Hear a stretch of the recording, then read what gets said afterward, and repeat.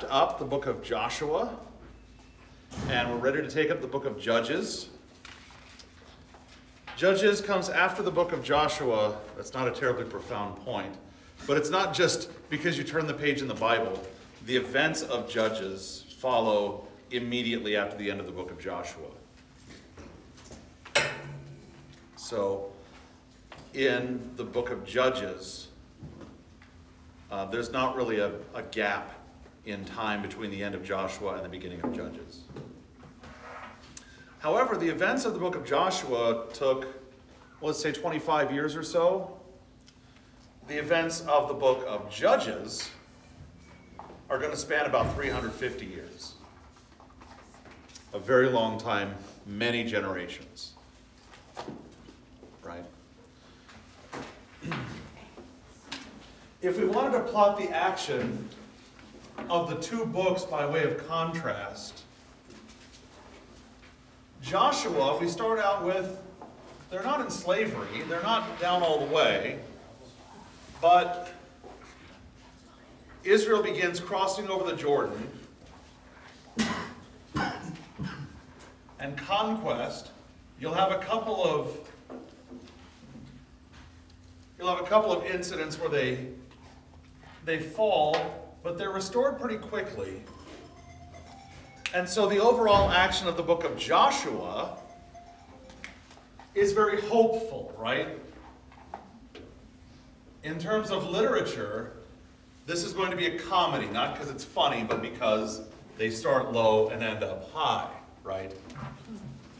Judges is going to look like this.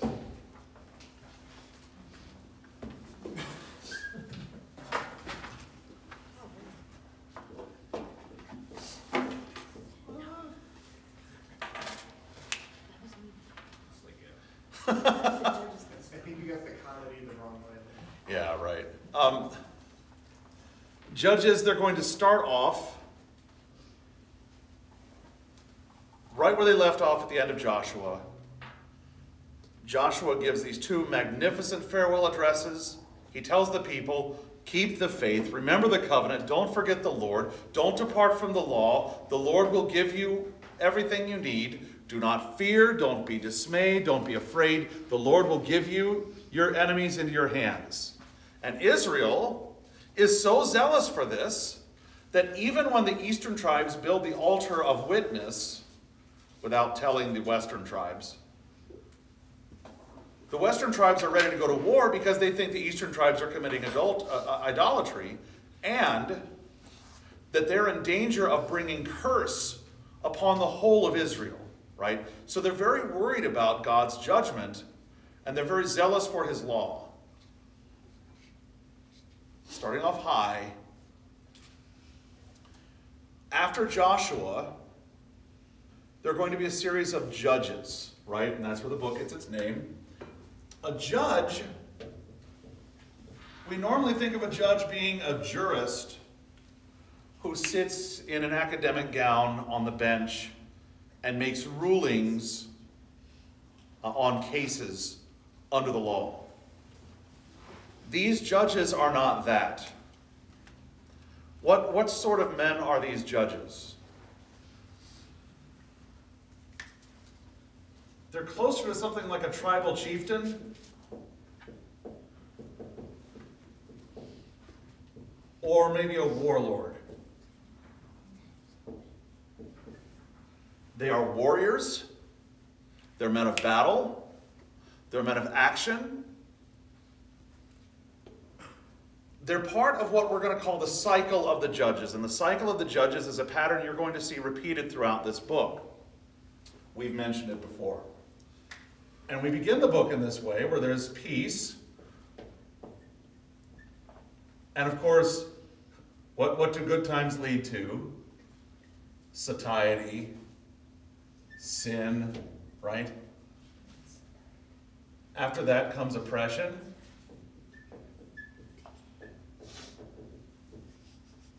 After oppression comes cries for deliverance. We might also use the term repentance. the Lord will raise up a Savior. The Savior will again restore peace, right? And there's this cycle. However, it's not quite like a rotating wheel that repeats the cycle over and over. It's more like, and unfortunately this is only a two-dimensional whiteboard, I'd like, you know, if we exist in the fourth dimension, I guess we could make a 3D one. It's a downward spiral. So that with each iteration of this cycle, things get worse and worse and worse. So the first judge, we're not going to know much about him, but the first judge, things are going to go very well by comparison. By the time you get to the final judge, not only does he not know the law of God, he doesn't know anything about the nature or the character of God, he knows nothing of God. And then at the end of the book, these last two chapters, um, all of Israel is going to forget God. And, and, and the book is going to end in a very dark and dismal place.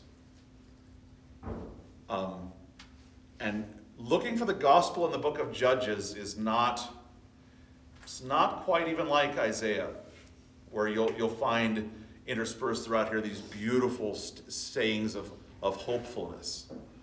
The gospel you're going to have to find in things like, well, at least the Lord didn't entirely wipe them off the map like he could have and probably should have. at least once they were utterly destroyed and in slavery, at least they called out for someone and at least he sent a savior eventually. Right? So there is gospel in Judges, but it's not it's not beaming through in the way it's going to in other books.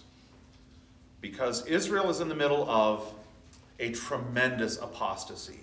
And this apostasy is going to show itself in all of the life of Israel.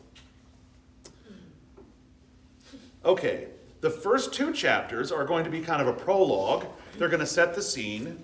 They're going to give you kind of the tone of the book and, and why the judges are going to be necessary. Any questions so far? So the time period we're looking at, by the way, we're going to be ending somewhere, I don't know, maybe,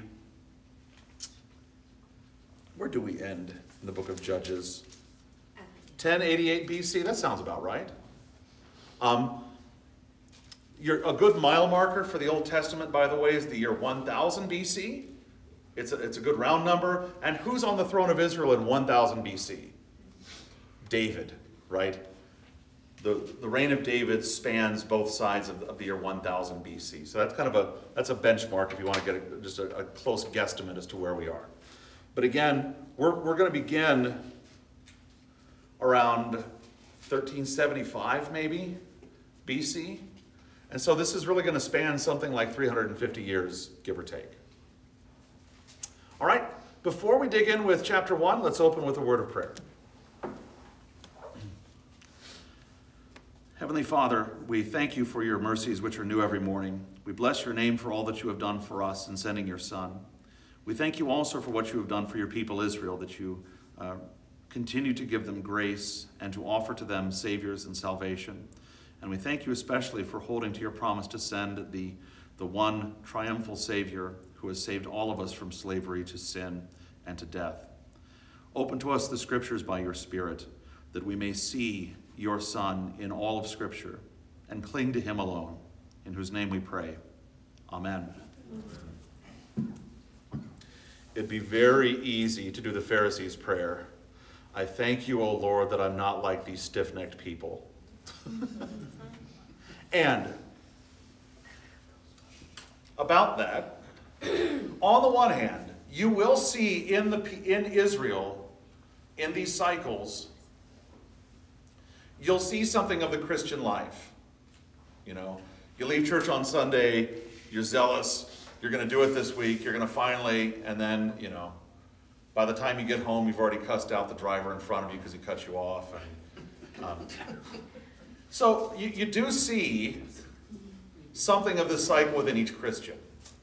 However, the people of Israel do seem to be disposed to idolatry in extreme sorts of ways. I mean, there are peoples who, when they got the gospel, they basically left idolatry behind. I mean, at least like outward acts of idolatry. They were not worshiping carved images anymore. They still coveted. But, you know, like when the German people got the gospel, by and large, they were not building like oak groves and worshiping them again, that kind of thing. Israel, man, we had this golden retriever growing up. And for some reason, this golden was absolutely addicted to hair. And so, like brushes that were full of hair, they had to be put up. Because if that brush was anywhere where the dog could get it, she was just on it. That's like Israel with these stupid carved images and these pagans around them in, in Canaan. It's like they just get near these Canaanites, they just become Canaanites. They're just, they're just circumcised Canaanites. It's like, you'll, you'll see throughout this why the Lord is going to command that they have to be cut off from the rest of the peoples. Um, so, Judges chapter 1. After the death of Joshua, the people of Israel inquired of the Lord, Who shall go up first for us against the Canaanites to fight against them? The Lord said, Judah shall go up. Behold, I have given the land into his hand. Okay, so first of all, we're starting off on a good note. Jo- I mean, not that Joshua's death is good, but um, when Israel knows that Joshua needs to be replaced, and so how do they go about finding someone to replace him?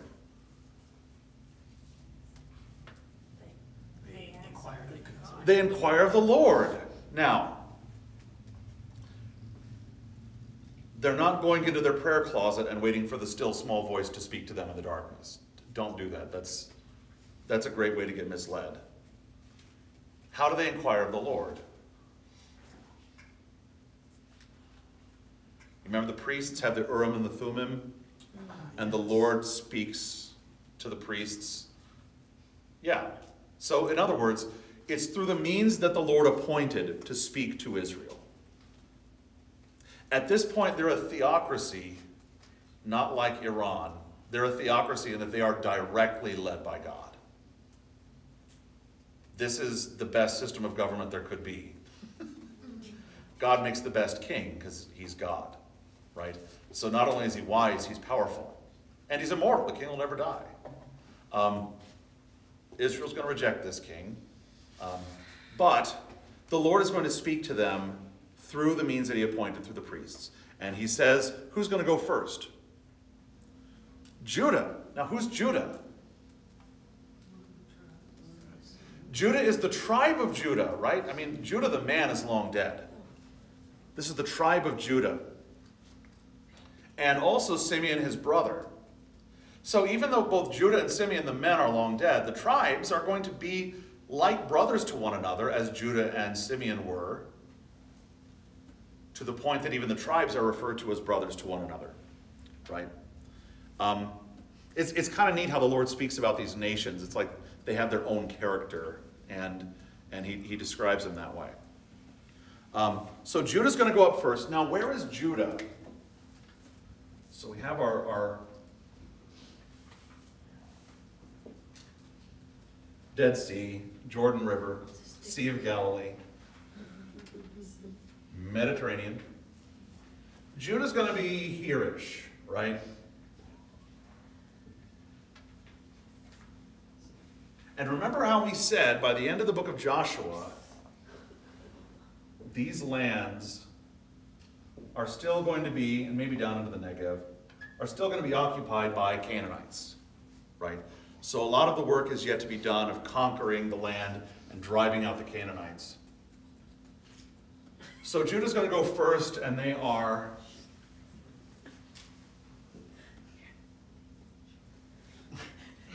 Sorry. Okay. That's weird.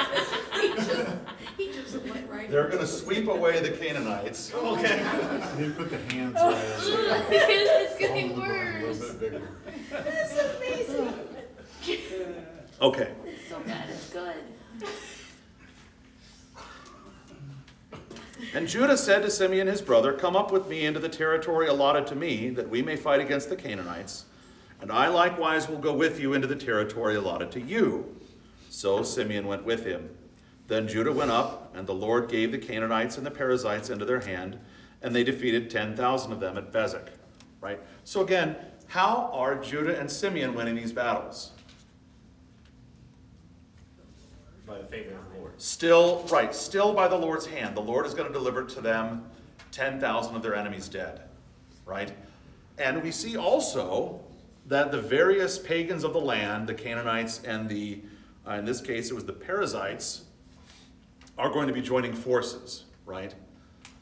Maybe they don't get along so well otherwise, but they have a common enemy in Israel. They're going to ally themselves against Israel, and, uh, and they're going to die together, right? Verse 5 They found Adoni Bezek at Bezek and fought against him and defeated the Canaanites and the Perizzites. Adoni Bezek fled, but they pursued him and caught him and cut off his thumbs and his big toes. Now, you're going to find that Judges is, um, is a violent book. It's, it's, it's going to contain images of violence more graphic than even Joshua. Yes, question.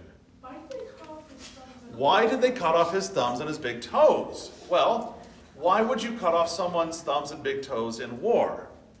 What can't he do? He can't pick up a sword or a bow or a rock, and he can't run away. But why that specifically? It seems cruel, but if you follow to the next verse, you'll find out why.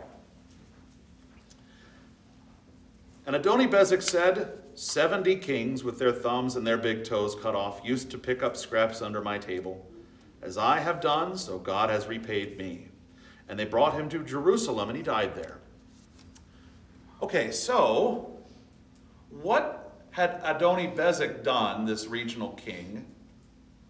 He did the same thing. He did that very same thing to 70 kings. And not only did he do that, he humiliated them by making them beg for scraps under his table, thumbless and big toeless. This is a cruel, cruel man. And he recognized, well, I did that to 70 kings, and now Israel's God has done that to me. I guess it's only fair. It's,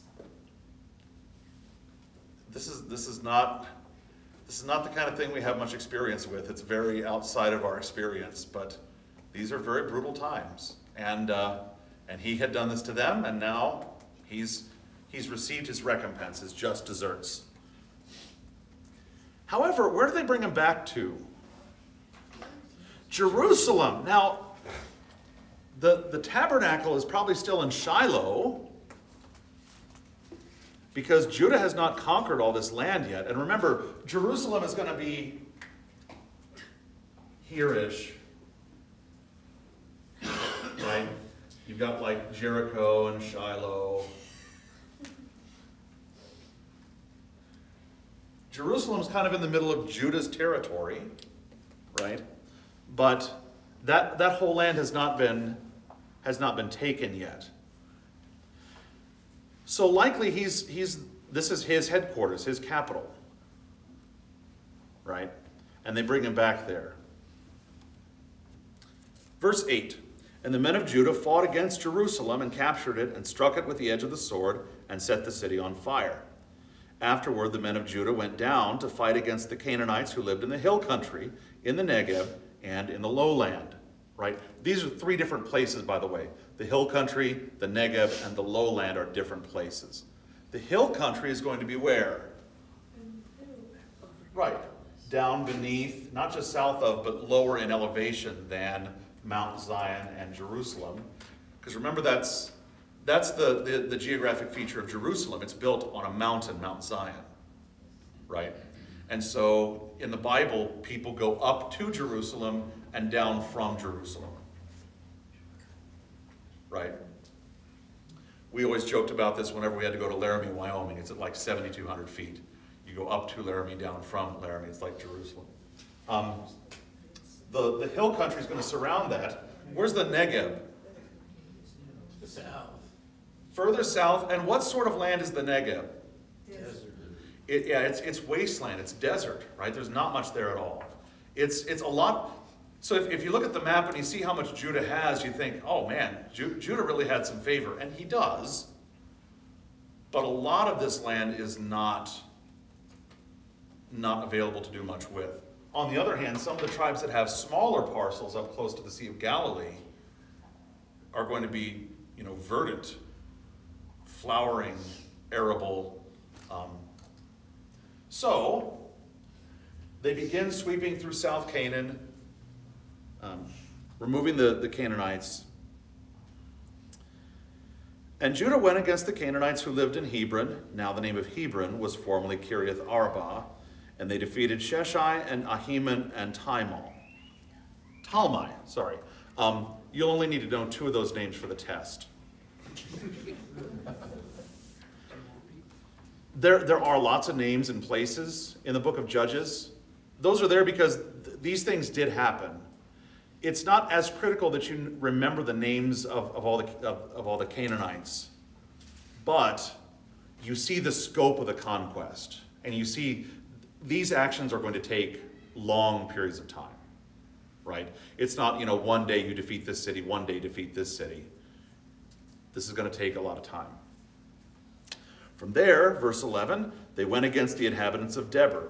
The name of Debir was formerly Kiriath Sepher. And Caleb said, He who attacks Kiriath Sepher and captures it, I will give him Achsah, my daughter, for a wife. Now, Caleb, that's a name we know, right? Who's Caleb? One of the spies, right? How many spies were sent into Canaan? Twelve. Two of them were faithful, right? And what do we mean by, by that? Reported what they saw. Well, they didn't. Accurately. Honestly, they reported kind of what they didn't see, which is that God has given them into our hand. The other 10 said they're big, they have arms, not arms, but like swords and stuff. They have shields, they have walls, right? The other two reported back based not on what they saw, but based on God's promise, right? And those two men were, this is like a Paul Harvey story, right? And those two men were Caleb and Joshua, right? The same Joshua that we've known from the previous book, and now Caleb, the other faithful spy. And Caleb, the Lord, the Lord does use a little competition every now and then. I mean, I mean, Paul does that when he's raising funds for, for his missionary work. Hey, you know, you should outdo one another in, in but here, Caleb is going to say, tell you what, whoever takes this city, he can have my daughter. Presumably, this was a very good prize. So, who ends up taking the city? Well, in verse 13, Othniel, the son of Kenaz, Caleb's younger brother, captured it. So, Caleb's daughter goes to Her uncle. Her uncle. Okay, cool. Just want to make sure I got that right. Yeah. We've had these before, right? Where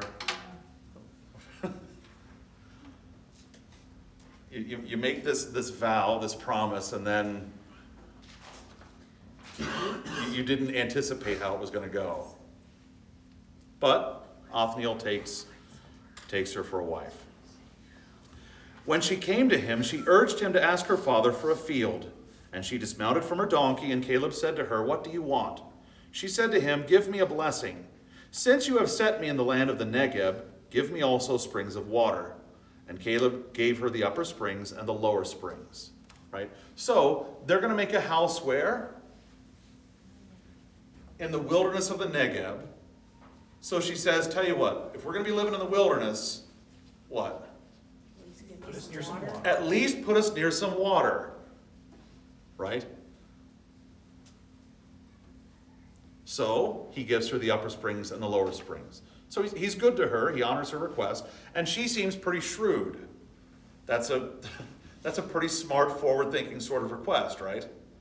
Well, we're going to be in the wilderness. We're going to need some water. So there she is. Verse 16 And the descendants of the Kenite, Moses' father in law, went up with the people of Judah from the city of Palms into the wilderness of Judah, which lies in the Negeb near Arad, and they went and settled with the people. So, who's the Kenite? Moses' father in law. Jethro, yeah, right? And if you're like me, you're either thinking of the Beverly Hillbillies or the rock guy with the flute. Oh, I thought of both right now. That's exactly what I did. It's like Jethro Tull. Right, yeah. So, yeah, so the descendants of Jethro, Moses' father in law, they go up with Judah.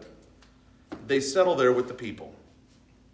Verse 17 And Judah went with Simeon his brother, and they defeated the Canaanites who inhabited Zephath and devoted it to destruction. So the name of the city was called Hormah. Judah also captured Gaza with its territory, and Ashkelon with its territory, and Ekron with its territory. And the Lord was with Judah, and he took possession of the hill country, but he could not drive out the inhabitants of the plain because they had chariots of iron. And Hebron was given to Caleb, as Moses had said, and he drove out from it the three sons of Anak. Okay, before we get to verse 21, so far so good. Little hitch with some of the Canaanites because they have iron chariots. But it's not like they didn't want to drive them out, it's just they were unable to. That's, you're still okay under God's law that way, right? Because the Lord's going to give them the victory. But the command was what with the Canaanites? Destroy them, drive them out of the land, right? Put them to death, drive them away, possess all the land. Do not, most of all, two things you do not do with the Canaanites. Take their women. You don't marry them, you don't take their women, right? And this is where there's a lot of application that's good for us now. Why don't you marry the Canaanite women? Wouldn't they turn into good Israelites? No. No. Instead, the Israelites become circumcised Canaanites, right? How have so many Bible believing church bodies and Christians become more and more accepting of gay marriage and homosexuality? Is it because a really whiz-bang theologian sat down with the Bible and said, I think you've been, I think you've been misreading these passages. Let me explain to you what Paul really meant here. Or does it go something like this? Um, I just got a call from my sister and my nephew's gay. Now what? In other words, it's not hitting us at the theological level. I mean, it is a theological problem, don't get me wrong.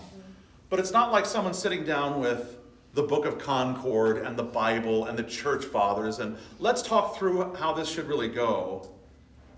Why not? That's God's domain. The Word of God, that's God's best weapon that he uses against the devil. That's what Jesus uses when he does battle with the devil, and he's God in the flesh. He uses the Bible. So the devil's not going to want to engage on the level of the Bible to say, well, the Bible's wrong. Christians are too, we're, we're too well fortified against that attack. Instead, it's more like, well, now you got to choose, Christian. Are you going to just say nothing, go along with it, and just slowly become more and more accepting of this practice in order to keep peace in your family? Or do you fear God, stick with His word, and become an outcast among your own relatives? And, and it's happening in every single family that any of us knows about, somewhere. It's, it's so widespread at this point. It's, it's everybody's story. And it's, it's, not, it's not hitting us at the level of understanding the Bible. It's hitting us at the level of what am I going to do about Thanksgiving? What am I going to say? Do I even go? And those choices are much harder because they're much closer to home, right? This is precisely why the Lord commands don't marry the Canaanites. Maybe their women are beautiful. You have women in your own tribes, take them. don't take the Canaanite women because you'll become like the Canaanites. And, not to spoil it, but again, it's 3,000 years, I think spoilers spoilers are over. When they settle near the Canaanites, they become like the Canaanites. And understand too, when we talk about idolatry, idolatry is going to be a major, major theme of, I mean, the Bible and the Old Testament, sure, but especially in the book of Judges, because the Canaanites, whom they're supposed to be driving out, are idolatrous. When we talk about idolatry, yes, it means that they're wrong about God, they have wrong theology, they teach false doctrine, but it's not like they're Mormons where they take the flavor of Christianity and, and use it, you know, the, the, the, the forms of Christianity and the trappings of Christianity in service to a false God. We're talking about carved statues. And what do they do with the carved statues? Do they meet one day a week and, and discuss what the carved statue wants?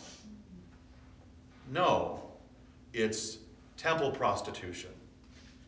That is, prostitutes working in service at the temple, in service of that idol, as a religious service. It's orgies. And the Greeks were not the only ones to engage in this kind of thing. It's, it's various forms of, of adultery, to, to clean it up as best I can. And what are you almost always going to find? Child sacrifice. When you live in a people that are pagan and you're a woman or a child, you are in much greater danger than if you live in a Christian land. Um, and so, when we talk about idolatry, it's, it's not just the false teaching. I mean, false teaching is bad enough on its own. It is. There are whole commandments that deal with that. But it's so much more than that. It's that they become as, as anti God, as ungodly as one could be. Right? Also, bear that in mind when you hear about the numbers of Canaanites being driven out. Don't, don't shed too many tears for them. Um, the, the world is better with fewer child sacrificers. Um, but idolatry is always going to be closely linked with another sin, and that is adultery. To the point that in the Bible, they're almost synonymous. That, you know, in, in the New Testament, how is the church described? The bride of Christ, right? He's the bridegroom. He cares for the church. He loves the church and, and provides for her and protects her, right? When she seeks out other gods, that's idolatry, but it's also like adultery. It's, it's, it's almost like they're kind of the same sort of thing, right? And in, in Judges, and you're, you're really going to see it in Jeremiah, when Israel goes after other gods, what verb is sometimes used? They go whoring after other gods. it's going to show up later in, in, in, in chapter 2. Like in the preaching of Jesus, especially you'll see this in John chapter 8.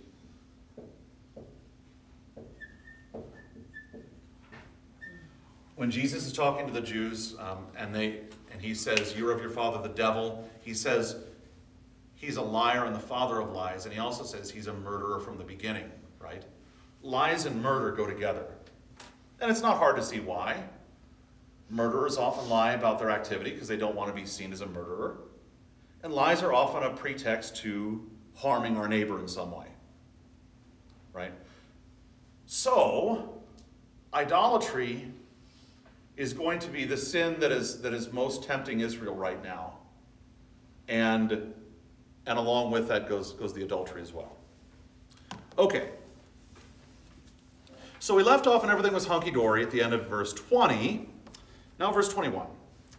But the people of Benjamin did not drive out the Jebusites who lived in Jerusalem, so the Jebusites have lived with the people of Benjamin in Jerusalem to this day. Because that's the second thing you weren't supposed to do with the Canaanites, right? Don't marry their women and Don't be immoralized. Don't, don't leave them alive, yeah. Don't make treaties with them, right? Well, that already happened with the Jebusites. And they're going to dwell in Jerusalem at least until the days of Saul, right? 22. The house of Joseph also went up against Bethel, and the Lord was with them. And the house of Joseph scouted out Bethel. Now the name of the city was formerly Luz. And the spies saw a man coming out of the city, and they said to him, Please show us the way into the city, and we will deal kindly with you. And he showed them the way into the city, and they struck the city with the edge of the sword, but they let the man and all his family go. And the man went to the land of the Hittites and built a city and called its name Luz. That is its name to this day. So, the command was drive out the Canaanites, all of them. Don't marry them, don't leave them alive, don't make treaties. Well, you already have the asterisk, the oopsie with the Jebusites, and now they have to deal with them. But now also you have the city of Luz, where they escaped the sword, right? So Judah did his part, Simeon did his part, but now you get to Benjamin, and Benjamin didn't do his part, and it just kind of goes downhill from there. Manasseh. Manasseh did not drive out the inhabitants of Beth Shean and its villages, or to and its villages, or the inhabitants of Dor and its village, villages, or the inhabitants of, of Ibleam and its villages, or the inhabitants of, of Megiddo and its villages. For the Canaanites persisted in dwelling in that land. When Israel grew strong, they put the Canaanites to forced labor, but did not drive them out completely. Okay, so just looking at Benjamin, just the tribe of Benjamin, um, Benjamin did not drive out all the Canaanites. They stopped short, right? And, and it's listed. We didn't talk about authorship. Traditionally, who's the author of, of uh, Judges? Traditionally, Samuel. There's not really anything in the text that. Unknown. Yeah, it, it is kind of unknown. Um, it makes sense for it to be Samuel. It's, it's certainly not written until the days of Samuel. And we know that because we're, we're told often, and, and especially at the end of, of chapter 22, in those, you know, these were the days in which Israel had no king, right? In other words, there would come days when Israel did have a king. Those would be in the days of Samuel. So it, it makes sense for it to be written during the days of Samuel the prophet. Um, but, but it's not certain from the text. So, um, so Benjamin did not drive out all the inhabitants. In other words, they didn't do what God told them to do. And what did Joshua tell them to do? Yeah, follow God. Do what God told you to do. Drive them out. And already they're failing, right? Do you think that's maybe part of why Jerusalem became the city where prophets go to die? Is that why Jerusalem is, a, is the place where prophets go to die? Yeah. There is a special evil in Jerusalem that never really goes away. Um, there, and, and, and you're going to see this here, you're going to see this elsewhere, you're going to see this during the days of the prophet Jeremiah. Of course, this is where John the Baptist is put to death, this is where Jesus is put to death. Um, we call it the Holy Land, and there's reason for that because the events of the Bible happen there, but there was plenty of unholiness in, in those places. And it seems like Jerusalem is especially drawn to faithlessness. I mean, it's, it's no wonder that when Jesus pulls up to Jerusalem, he pauses for a second and you can almost hear him sigh before he weeps over Jerusalem. Like, oh, this place. And, you know, being God and knowing his Bible, he knows what's happened there. Um, and he's going to be, he's not just going to be part of it, he's going to be the worst of it. Because there they don't just kill a prophet, they don't just kill an innocent man, they're going to kill God.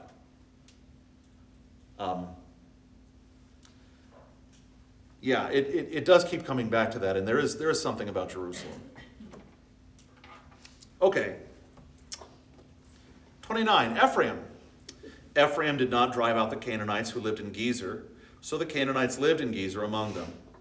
Zebulun did not drive out the inhabitants of Kitron or the inhabitants of Nahalal, so the Canaanites lived among them but became subject to forced labor. Asher did not drive out the inhabitants of Akko, or the inhabitants of Sidon, or of Ahlab, or of Achzib, or of Helbah, or of Aphik, or of Rehob. So the Asherites lived among the Canaanites, the inhabitants of the land, for they did not drive them out. So, so far you have kind of two different ways of these various tribes dealing with the Canaanites. None of them were doing what God told them.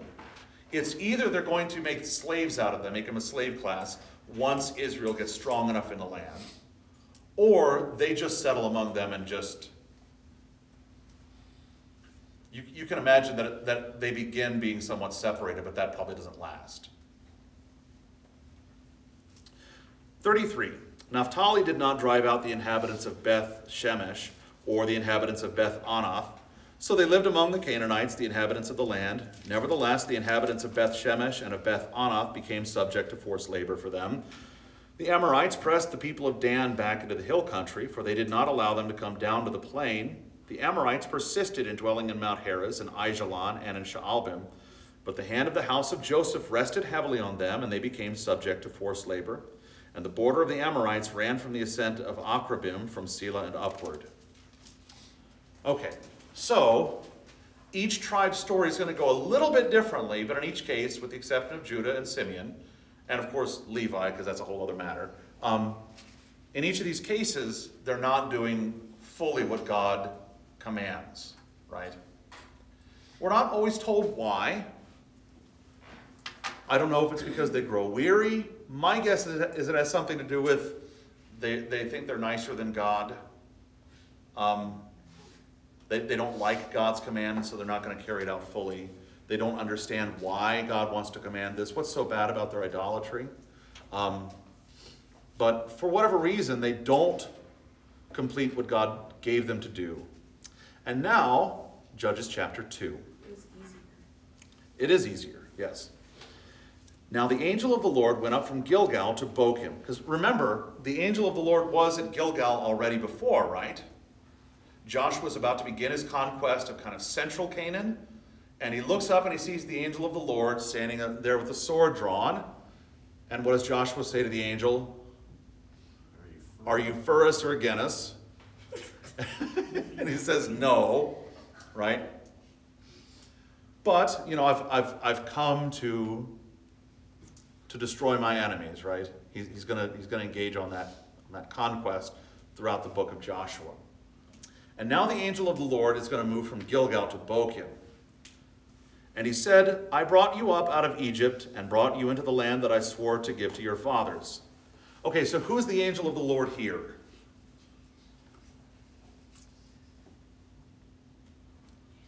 I feel like it's almost always Jesus. The angel of the Lord is almost always going to be Jesus, yes. But here we know this for certain because he said, I brought you up out of the land of Egypt, right? And remember, how does God refer to himself in the Old Testament? Many times it's, I'm the one, I'm the God who brought you out of Egypt. That's how the Ten Commandments begins, right? I am the Lord your God who brought you up out of the land of Egypt, right? Right, and then the other messengers always say, thus said the Lord. Yeah, exactly. Yeah, the other messengers will say, Thus says the Lord, and he's going to say, I did this, right? So here we're on very, very safe ground saying, This is the Son of God, right? This is the second person of the Trinity. I said, I will never break my covenant with you, and you shall make no covenant with the inhabitants of this land. You shall break down their altars, but you have not obeyed my voice. What is this you have done? So now I say, I will not drive them out before you, but they shall become thorns in your sides, and their gods shall be a snare to you.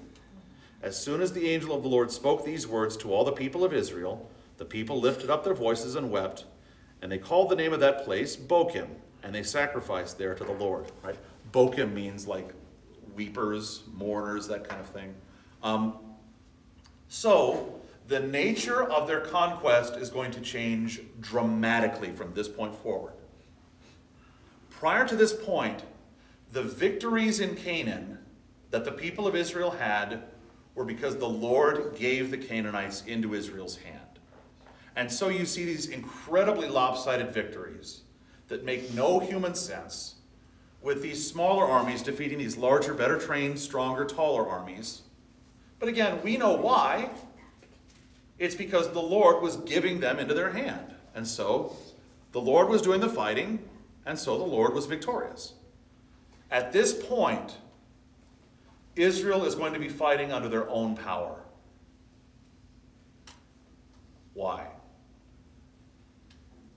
Because I thought that they were no one else. Yeah, because they didn't do what they were supposed to do, and that was that was the agreement. That was the covenant. Do my law, and I will drive out the Canaanites for you. Not just I'll teach you the, the secret tr- tricks of how to drive out Canaanites that I learned by building up my own business. He's God. He'll drive them out. All they have to do is obey his word, and they'll always have the victory. They were unwilling to do that, and so now the other part of this, uh, this, this covenant is, is enforced. If you don't, they're going to fight under their own power. And that's what's going to happen. He says, I'm not going to drive them out before you any longer. And not only that, since they're going to be there, they're going to be what? Thorns in your sides, right? They're going to harass you. They're, and, and, and more than that, their gods are going to be what? A snare. What's a snare? It's a trap, right? A, a temptation, right? And of course, Israel, Israel is especially prone to idolatry. And so, being surrounded by all of these idols, they're going to constantly be tempted by these idols that should have been dri- driven out of the land, but they didn't do it. So now they're going to have to face this temptation, and they're going to have to, if they're going to, if they're going to live there, they're going to have to defend the land they've taken and maybe try to take more, but now without God's help. Sounds like you're reading the news out of So, yeah, sounds like you're reading the news. Yes, yeah, right. Verse 6 When Joshua dismissed the people, the people of Israel went, each to his inheritance, to take possession of the land. And the people served the Lord all the days of Joshua and all the days of the elders who outlived Joshua, who had seen all the great work that the Lord had done for Israel. And Joshua the son of Nun, the servant of the Lord, died at the age of a 110 years.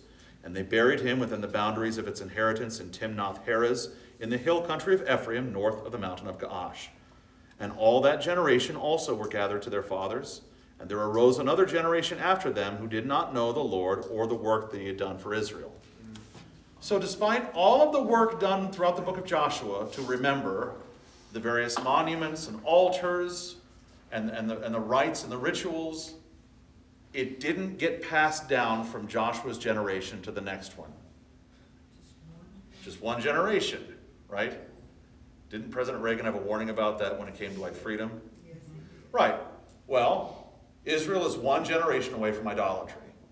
And so in one generation, they lost what they were supposed to pass on to the younger generation. And now there's a people that doesn't know God. Okay. And the people of Israel did what was evil in the sight of the Lord and served the Baals. Oh, and by the way, how long was Israel faithful? As long as Joshua was alive, right? Isn't this true of so many families? There's a, there's a patriarch, a matriarch who's very pious, and as long as they're alive, everything's held together, and as soon as that ends, they fall apart. This is going to happen to Israel not only when Joshua dies, but with the death of every single judge. Right? They're faithful while the judge is raised up, and once the judge dies, they fall apart, and they actually get worse. Verse, um, verse 12 And they abandoned the Lord, the God of their fathers, who had brought them out of the land of Egypt. They went after other gods from among the gods of the people whose, peoples who were around them and bowed down to them. And they provoked the Lord to anger. They abandoned the Lord and served the Baals and the Ashtaroth. We don't have a lot of time to talk about the Baals and the Ashtaroth. We'll, we'll do uh, a little excursus on that next week, on, on who the Baals and the Ashtaroth were, because they, they come up a lot in the Bible, not just in the book of Judges. So the anger of the Lord was kindled against Israel, and he gave them over to plunderers who plundered them. And he sold them into the hand of their surrounding enemies, so that they could no longer withstand their enemies. Whenever they marched out, the hand of the Lord was against them for harm, as the Lord had warned. and as the Lord had sworn to them, and they were in terrible distress. Right? You are here. Right? There's peace. Everyone goes back to their land. They start serving the Baals and the Ashtaroth. The Lord's hand is not neutral, it's against them. And wasn't that the lie that was always sold to us, especially throughout the 20th century, right? The idea that there was ever neutral territory. They called it secular, right? Well, there's, there's good and there's evil, but then there's the middle, right? Hmm. That was the lie we were always sold. That's just, that doesn't exist anywhere in the Bible, right? There is good, there's evil, there's heaven, there's hell, there's God, there's the, the devil. Yes? Where were the Levites? The- they, why were they keeping people in check? And Yeah, why weren't the Levites keeping them in check? Um, my guess is they fell too. Because, yeah, they, they're supposed to be peppered throughout the land. They have their own cities and, and among the various tribes.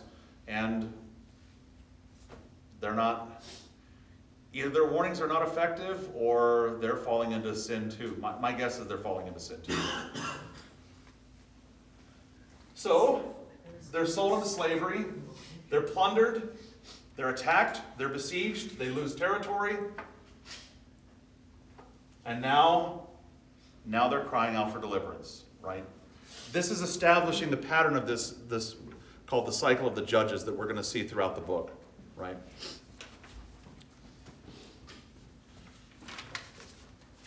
Sixteen. Then the Lord raised up judges who saved them out of the hand of those who plundered them.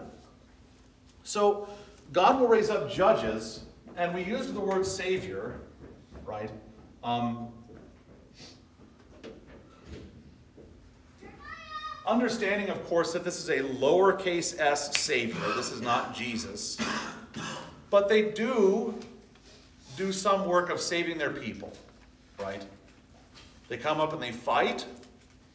They serve as, as, as a moral center for them, as, as an authority. They put their enemies to death. Israel gets behind them. And Israel does great as long as that judge is alive. But when the judge dies, not only do they fall back into their old habits, they get worse than they were before. Now, in each case with the judges, each man, asterisk, because one of them is not a man, um, each, each of the judges has God's favor in that God is going to do his work through them. That does not mean that God approves of the moral character of each of the judges, particularly the, the latter judges, right? The, the latter judges are going to be morally pretty bad to the point that the, that the last of the judges are going to, to not know anything about God, his character, his nature, um, and be morally pretty, pretty bad men anyway, right? So when, when, we, when we talk about a judge, the judge is raised up by God, and God does his work through the judge, but don't think that means that God approves of everything the judge does. I'm here addressing every Sunday school teacher who ever teaches about Samson. Gideon, imperfect. Samson, he's imperfect would be an improvement. Um, okay, so we're kind of here. They're crying out, right? And chapter two is giving the basic pattern for the whole book. Yes. Is judge like the Hebrew translation of the word? Yeah, it's right. It, it, I guess it doesn't translate that neatly into English. Um, they're, they're judges or they're, uh, they're saviors. The word could just as easily be saviors. okay. Yeah, to me, it always seemed, reading Judges is that the actual judge is more of a means of wrath than, uh, like the righteous savior. Yes, exactly. Um, his, his point was that the judge is sometimes even more than being a righteous savior, he's an agent of wrath against God's enemies. I think that's fair, especially in the book of Judges. Okay. Then the Lord raised up judges who saved them out of the hand of those who plundered them. Yet, Look at verse 17. It's one of the saddest verses. They did not listen to their judges, for they whored after other gods and bowed down to them. Right? So, again, they're oppressed. They cry for deliverance. They repent. The Lord raises up a Savior. But they didn't listen to the Savior. They didn't listen to the judge. Right? Yeah. Like, did you see just what happened to these people? Right. And you're gonna do what they're doing? Yeah, there's, there's no memory whatsoever. They're like goldfish or something. Just, there's, it's always year zero. There's, there's no past. There's no lesson to learn from, right? Which is why we're studying this. One of the ways you overcome this is by learning something about history, not so that we can argue and go, this is more like the Spanish Civil War. No, this is more like World War One. No, that's, that's fruitless. That's pointless. The point is, learn what happens to people who forsake the Lord. Learn about how real his wrath is and what it looks like to be given over into your enemy's hands. But then also, look at how gracious God is, even with this totally stiff necked people. I mean, you, you cannot look at Israel and ever say they didn't have it coming. If anything, you could say, I'm kind of surprised it took God that long, which is grace. But you see his grace over and over and over again. It, it doesn't run out. Now, the Lord's punishments may be very stern and severe and, and painful, no doubt about that. But he still raises up saviors, he still raises up these judges. And the fact that they're lowercase s saviors, that they're judges, that they're agents of wrath, they're, they're pointing forward to one who's going to come and, and finally, in a climactic sort of way, do the work of saving that none of these judges could do. And that, of course, is going to be Jesus. Okay. Pastor Thompson. In Yes. Verse sixteen, it says, uh, the- out of the, raise the judges up, who saved them out of the hand of those who plundered them. I know in Exodus, the Israelites plundered the Egyptians when they left. Is this the first case when the Israelites are being plundered themselves? So the question is, is, is Israel plundered Egypt on the way out of Egypt? Is this the first time Israel's being plundered after that? I think it is. And so then is it fair to say that, uh, it is by God's hand that, uh, deliverance and righteousness can be punishment or reward? Oh, yeah, yeah. All, all of this is going to be either punishment or reward. And, and all of this is coming from God. This is, this is not accidental at all. Um, that Israel's plundered is directly a consequence of their faithlessness. Okay, verse 18. Whenever the Lord raised up judges for them, the Lord was with the judge, and he saved them from the hand of their enemies all the days of the judge. For the Lord was moved to pity by their groaning because of those who afflicted and oppressed them. Right? That's here. But wherever the ju- whenever the judge died, they turned back and were more corrupt than their fathers, going after other gods, serving them and bowing down to them. They did not drop any of their practices or their stubborn ways. So the anger of the Lord was kindled against Israel, and he said, Because this people has transgressed my covenant that I commanded their fathers and have not obeyed my voice, I will no longer drive out before them any of the nations that Joshua left when he died, in order to test Israel by them, whether they will take care to walk in the way of the Lord as their fathers did or not. So the Lord left those nations, not driving them out quickly, and did not give them into the hand of Joshua.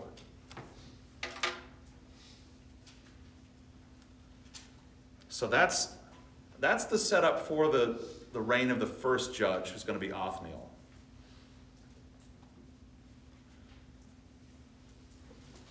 Questions so far? Okay, so next week, we'll start with, with the reign of Othniel. And uh, this will be the better time of the judges before things get worse and worse. Um, but we'll see that, that pattern that we established in chapter 2, we'll see it enacted throughout the, the, the lives of these various judges. Hey, God, why'd you smash them. that idol? I liked that idol. Yeah. Yeah, like I said, this, this is, as far as books of the Bible go, it's, it's pretty sober.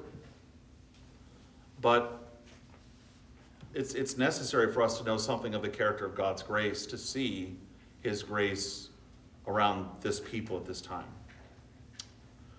All right, let's close with the Lord's Prayer. Our Father, who art in heaven, hallowed be thy name. Thy kingdom come, thy will be done, on earth as it is in heaven. Give us this day our daily bread, and forgive us our trespasses, as we forgive those who trespass against us. And lead us not into temptation, but deliver us from evil. For thine is the kingdom, and the power, and the glory, forever and ever. Amen. All right, thank you.